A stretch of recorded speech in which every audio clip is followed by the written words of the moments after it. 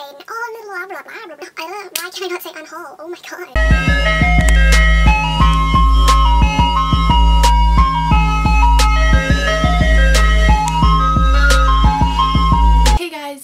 Jay and today I'm here with an unhaul video. I'm about to head out to my local thrift store to go pick up some new clothes so I decided I should probably drop off all of the books that I'm getting rid of this month. I have a total of 11 I think that I'm going to be bringing back to the thrift store so without further ado, let us get started. The first book that I have is because I have a duplicate of it. The author ended up sending me two of them from when I won a giveaway and I don't need two copies and I don't really have anybody to give the book to and I haven't even read it yet so I don't know if it's good or not so I'm like I don't really want to give it to somebody and then it ends up being terrible and they're like what the heck I'm never taking book recommendations from you again because then I'll be sad.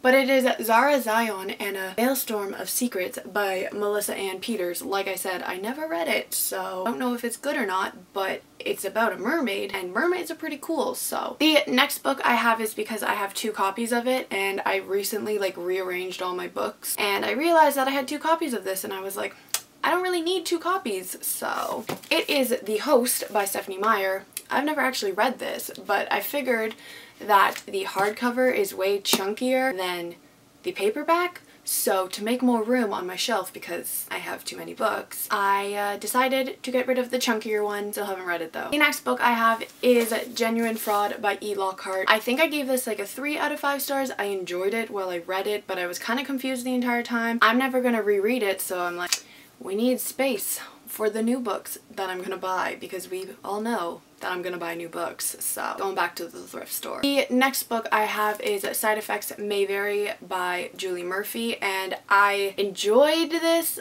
kind of. I think I gave it a 3 out of 5 stars, but the two main characters really pissed me off and I was just not about it. So I'm never to reread it, even though I really like the cover. It's like super simple and cute, but there's no point having it on my shelf if I'm never to read it. Am I right, ladies? I'm right. The next book I have is also by Julie Murphy and it is Ramona Blue. It's an arc and I recently picked up a full copy of it so I don't need the arc anymore. The next book that I'm getting rid of is because it was a stupid book and had stupid lines and I will tell you one of those lines but it is The Creeping by Alexander Sirrowy and I'm kind of annoyed that I didn't like this one because I loved her other book The Telling. This one has literally the stupidest line in the entire world. The line is wait a bloody tampon second. Like who thought that this was a good idea to write in a book? I don't know. Like Alexandra Sirrowy apparently but I'm like bummed about this one too because I love the cover. I think it's like so pretty, but the story inside,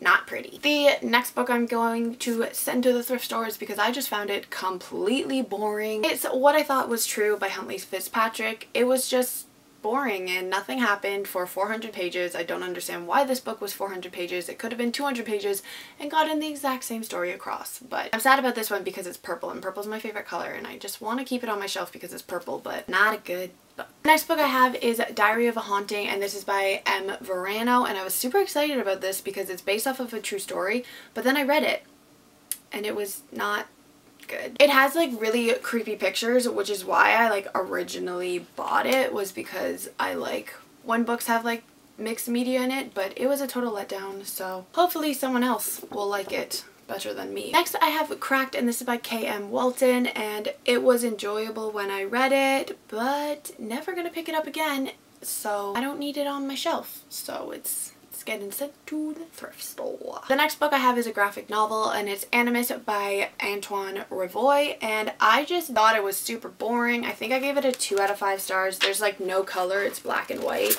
And your girl likes bright, colorful graphic novels so it just wasn't for me. I didn't find the story interesting so hopefully someone else will like it more than I did. And then the final book that I have, I'm really bummed that I didn't like it because I really wanted to but it's Before I Let Go by Marieke Nijkamp and I just found it so boring when I read it like I just didn't connect with any of the characters. I didn't care what happened to them. I didn't care about the story behind Lost Alaska. Like I just didn't care. So I don't need it on my shelf because I don't care. Alright guys, so that was my unhaul video. Let me know down below if you've read any of these and what you thought of them. And I'll see you all in my next video. Goodbye!